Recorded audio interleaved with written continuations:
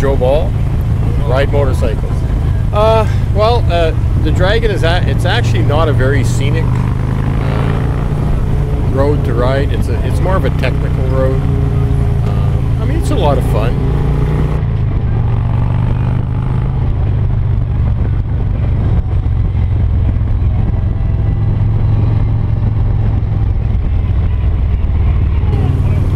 You can pretty much uh, go through it the s- speed limit and have a good time. And you don't have to go speeding through there or blasting through there and taking chances. You can just relax and enjoy the road.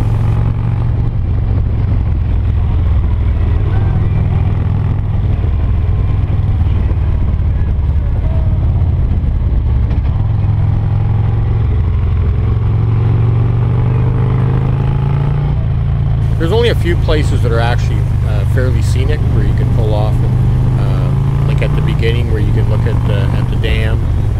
There's an overlook look at the dam, and then Deal's Gap. Really, that's the only two places that are kind of nice to stop.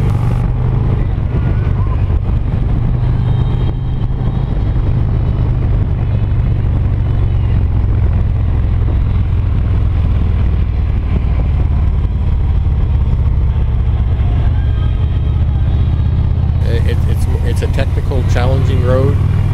People want to come from all over the country, and and some of them come from different parts of the world just to rent a bike and, and ride the Dragon. It's just. Uh, I think it's a lot of it is because it's a, such a technical road to ride. Well, it can be pretty daunting to a, to a, a beginning motorcyclist. Uh, thing is, is you just you go there and you ride your own ride. Don't worry, don't worry about what's behind you. Uh, focus on what's in front of you. Just stay, you know, stay in your lane,